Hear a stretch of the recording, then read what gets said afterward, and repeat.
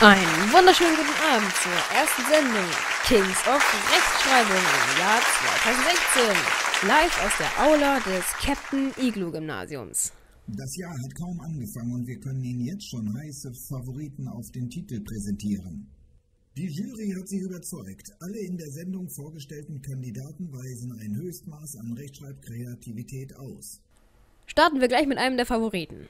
Eine sehr fantasievolle Kreation. Man weiß noch gar nicht, wie man es aussprechen soll. The Seconds oder The Toast?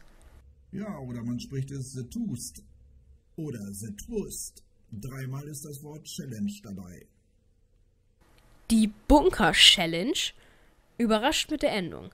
Aber ich kann dir einen heißen Tipp geben. Mit neue Challenged haben wir meiner Meinung nach einen Titelanwärter. Sehr kreativ. Eine 180-Grad-Drawing muss man üben. Die ist nicht angeboren. Mein Eigeber PS3-Server. Das Modell wird bestimmt auf manchem Frühstückstisch die Eier geben. Mein Handy ist gerade verschwundet. Verschwundet ist die Kombination aus verschwunden und verwundet. Sehr interessant. Früher sagte man, das rockt. Aber heute heißt es. Kratze Beats.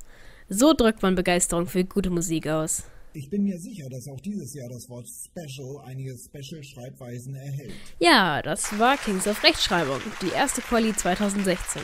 Um Risiken und Nebenwirkungen dieser Sendung zu vermeiden, lassen Sie sich blitzdingsen oder fragen Sie Ihren Arzt oder Apotheker.